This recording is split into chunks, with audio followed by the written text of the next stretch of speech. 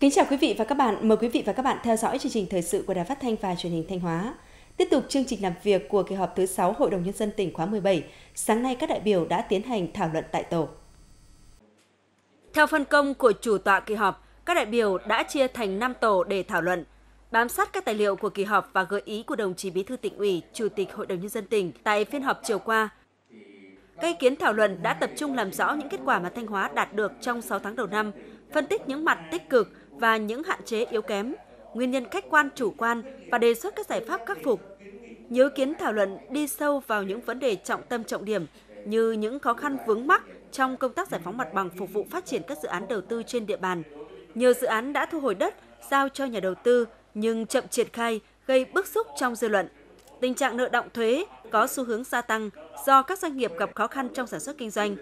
Cải cách hành chính liên quan đến môi trường đầu tư kinh doanh mặc dù tiếp tục có chuyển biến tích cực nhưng vẫn còn không ít vướng mắc. Tình trạng thiếu giáo viên, nhất là ở bậc học mầm non, đang diễn ra khá phổ biến ở nhiều địa phương. Phiên thảo luận tại tổ ở kỳ họp này cũng chứng kiến sự đổi mới của Hội đồng Nhân dân tỉnh, cả trong công tác điều hành thảo luận và chất lượng các ý kiến thảo luận, khi mà hầu hết các ý kiến đều ngắn gọn đi thẳng vào vấn đề và có sự trao đổi tranh luận thẳng thắn. Chiều nay, Hội đồng Nhân dân tỉnh sẽ tiến hành phiên thảo luận tại hội trường. Đài Phát thanh và Truyền hình Thanh Hóa sẽ truyền hình và phát thanh trực tiếp vào lúc 13 giờ 30 phút. Mời quý vị và các bạn chú ý đón xem. Sáng qua ngày 9 tháng 7, đồng chí Lê Anh Tuấn, Phó Chủ tịch Ủy ban nhân dân tỉnh đã tiếp đoàn công tác của Đại sứ quán Israel tại Việt Nam, ngài Danab SK, đại sứ đặc mệnh toàn quyền Israel tại Việt Nam làm trưởng đoàn đến chào xã giao nhân kỷ niệm 25 năm thiết lập quan hệ ngoại giao Việt Nam Israel 12 tháng 7 năm 1993, 12 tháng 7 năm 2018. Phó Chủ tịch Ủy ban nhân dân tỉnh Lê Anh Tuấn chào mừng đoàn công tác của Đại sứ quán Israel tại Việt Nam đến thăm và làm việc tại Thanh Hóa, đồng thời thông báo một số nét cơ bản về vị trí địa lý, những thành tiệu quan trọng Thanh Hóa đã đạt được trong phát triển kinh tế xã hội. Phó Chủ tịch Ủy ban nhân dân tỉnh cũng bày tỏ sự cảm ơn đối với chính phủ, các tổ chức, Đại sứ quán Israel trong việc phối hợp thực hiện các hoạt động viện trợ nhân đạo, hỗ trợ giáo dục, chuyển giao khoa học kỹ thuật, ứng dụng công nghệ cao trong sản xuất nông nghiệp tại Thanh Hóa, đồng thời đề nghị chính phủ Israel tiếp tục quan tâm hỗ trợ Thanh Hóa thực hiện một số chương trình như viện trợ nhân đạo và hỗ trợ y tế cho các huyện miền núi nghèo, hỗ trợ trao đổi hợp tác về lĩnh vực giáo dục đào tạo, kết nối các doanh nghiệp hợp tác trong lĩnh vực nông nghiệp ứng dụng công nghệ cao gắn với tăng trưởng xanh và ứng phó với biến đổi khí hậu. Đại sứ đặc mệnh toàn quyền Israel tại Việt Nam Nadav Aska bày tỏ sự cảm phục trước những thành tiệu, mức tăng trưởng kinh tế mà Thanh Hóa đã đạt được trong thời gian qua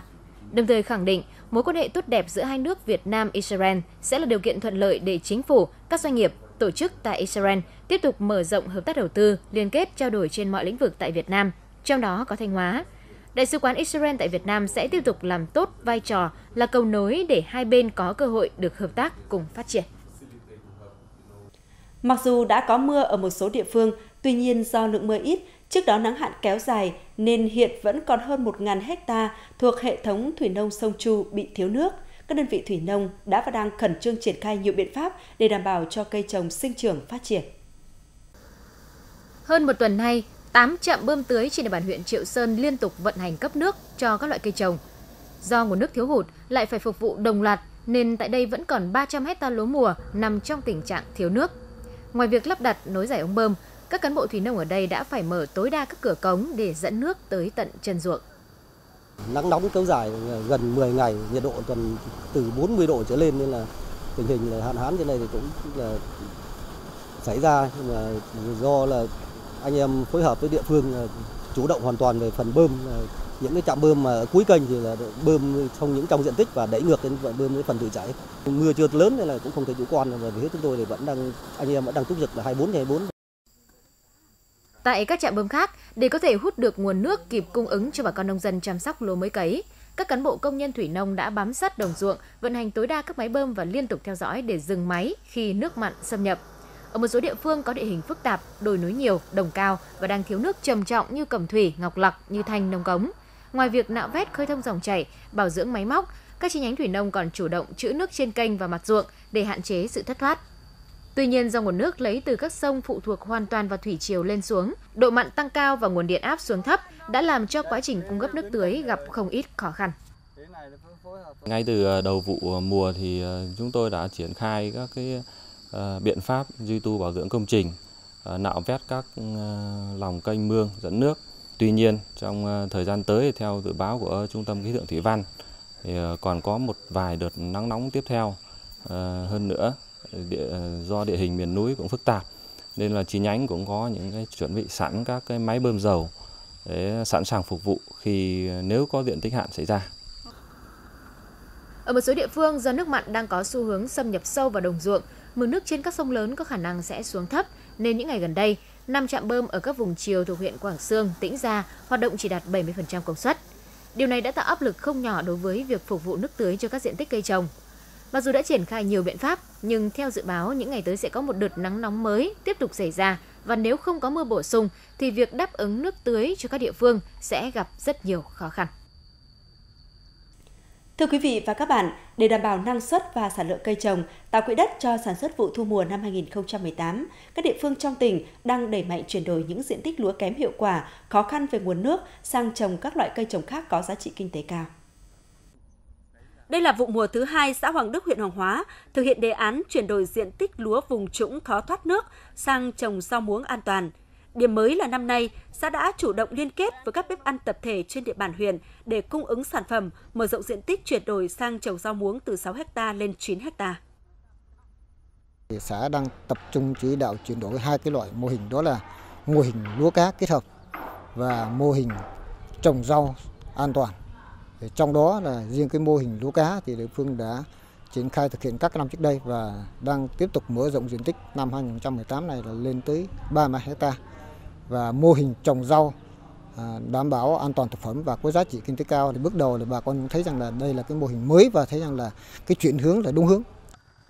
Xã Cẩm Sơn, huyện Cẩm Thủy cũng vận động khuyến khích người dân chuyển đổi 9 hecta đất lúa bị hạn không gieo cấy được sang trồng cây thức ăn gia súc và liên kết với doanh nghiệp trồng cây ngô dày, gai xanh. Đối với xã Cẩm Sơn chúng tôi là chỉ đạo cho bà con nhân dân tùy vào từng cái chất đất à, và cái tập quán canh tác của từng từng dân tộc, từng vùng miền để chúng tôi có cái à, cây trồng chuyển đổi cây trồng cho nó phù hợp. Đối với đồng bào dân tộc Giao thì họ quen tập quán là sản xuất à, cây ngô này và cây hành trăm thì chúng tôi cũng vận động bà con nhân dân là à, chuyển đổi sang à, cây ngô dày và cây hành trăm. Đấy. Còn đối với à, ở vùng ngoài đây thì chúng tôi à, vận động bà con dân chuyển sang trồng mô hình cây gai xanh. Vụ mùa năm 2018, toàn tỉnh sẽ chuyển đổi khoảng 2.000 ha đất lúa sang các cây trồng khác, trong đó bố trí cơ cấu cây trồng hợp lý, đưa các loại cây trồng ngắn ngày có giá trị kinh tế cao vào trồng nhằm tăng hệ số quay vòng sử dụng đất, né được những ảnh hưởng bất thuận của thời tiết, tăng áp dụng tổng hợp các tiến bộ kỹ thuật mới về giống, kỹ thuật thâm canh, phòng trừ sâu bệnh, cơ giới hóa trong sản xuất. Huyện đang tập trung chỉ đạo các ờ, đơn vị là để chuyển đổi một số cây trồng, đặc biệt là trong cái vụ này để do hoàn thành về cái chỉ tiêu về cái ờ, sản lượng lương thực là tập trung trồng cây cây ngô. Một số diện tích khác trồng cây rau màu chỉ đạo các đơn vị là à, liên doanh liên kết với các công ty như công ty bò sữa, rồi công ty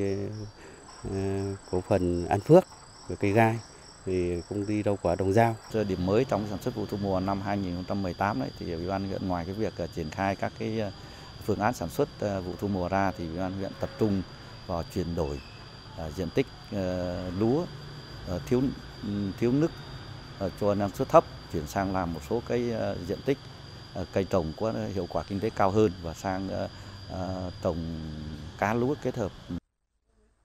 Đến thời điểm này, các địa phương trong tỉnh đã chuyển đổi được gần 50% diện tích đất lúa kém hiệu quả. Hiện ngành nông nghiệp tiếp tục chỉ đạo hướng dẫn các địa phương nhanh chóng hoàn thành việc chuyển đổi theo kế hoạch nhằm đảm bảo khung lịch thời vụ, nâng cao giá trị sản xuất vụ thu mùa.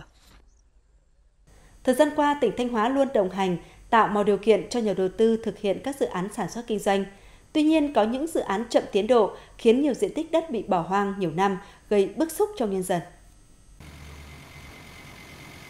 Năm 2012, Công ty cổ phần xây dựng Kiều Lê được Ủy ban nhân dân tỉnh giao gần 72.000 m2 để triển khai thực hiện dự án trung tâm đào tạo và sát hạch lái xe và sau đó công ty xin chuyển mục đích sang chức năng đất dân cư. Nhưng đã 6 năm trôi qua, ngoài san lấp mặt bằng, công ty chưa có thêm động thái gì cho việc triển khai dự án. Diện tích đất này đang trở thành nơi người dân tự do tập kết vật liệu. Đoàn thanh niên của thôn còn làm hẳn một sân bóng chuyền ở đây mà cũng không bị nhắc nhở. dân thì đất ruộng đang làm ruộng không có đất làm ruộng. Hai là để lãng phí đất rất nhiều. Mà thứ ba là mất trật tự trong cái khu vực. Từ ngày 1 tháng 7 năm 2014 đến ngày 30 tháng 6 năm 2018, Thanh tra Sở Tài nguyên và Môi trường đã thanh tra kiểm tra 299 lượt dự án có sử dụng đất, trong đó có 180 dự án có vi phạm pháp luật đất đai như không sử dụng đất, chậm tiến độ đầu tư, sử dụng đất không đúng mục đích. Các doanh nghiệp chậm tiến độ đầu tư đều giữ đất bằng cách đề nghị chuyển mục đích sử dụng đất, điều chỉnh dự án, điều chỉnh mặt bằng quy hoạch, xây dựng để kéo dài thời gian thực hiện dự án, tránh việc bị xử lý. Một số doanh nghiệp thuộc trường hợp thu hồi đất nhưng tài sản gắn liền với đất đang thế chấp ngân hàng hoặc đang đấu giá tài sản để thi hành án dân sự, dẫn đến khó khăn trong thu hồi. Nhiều nhà đầu tư, chủ dự án không phối hợp với thanh tra trong cái việc ờ, cung cấp hồ sơ, kiểm tra thực địa, ký biên bản. À, một số cái nhà đầu tư mà khi có quyết định thu hồi đất khi triển khai quyết định thu hồi đất thì cũng không đến để, để nhận quyết định và thực hiện các nội dung trong quyết định à, của Ủy ban nhân dân tỉnh. Căn cứ kết quả thanh tra, Sở Tài nguyên và Môi trường đã kiến nghị Ủy ban nhân dân tỉnh thu hồi 35 khu đất thuê được giao của các đơn vị với tổng diện tích gần 1.210 ha. Mới đây, Ủy ban nhân dân tỉnh cũng đã ban hành quyết định thu hồi đất của 16 đơn vị với tổng diện tích gần 58 ha. Chính thức thu hồi một phần cái diện tích đất của công ty trách nhiệm hữu hạn một thành viên Vinasuki. Thì cái này đối với địa phương cũng ờ, được thông tin và cũng rất là phấn khởi và rất mong rằng à, tới đây để sớm kêu gọi các nhà đầu tư để vào đầu tư sớm để làm sao đó thu hút được cái lượng lao động của người địa phương. Để các dự án được triển khai, người dân và các địa phương đã thực hiện trách nhiệm của mình trong giao đất cho doanh nghiệp. Vậy trách nhiệm của nhà đầu tư như thế nào khi để hàng nghìn hecta đất bị bỏ hoang, gây lãng phí tài nguyên và nguồn lực của nhà nước và xã hội? Chương trình thời sự hôm nay xin được khép lại tại đây. Cảm ơn sự quan tâm theo dõi của quý vị và các bạn. Xin kính chào tạm biệt và hẹn gặp lại.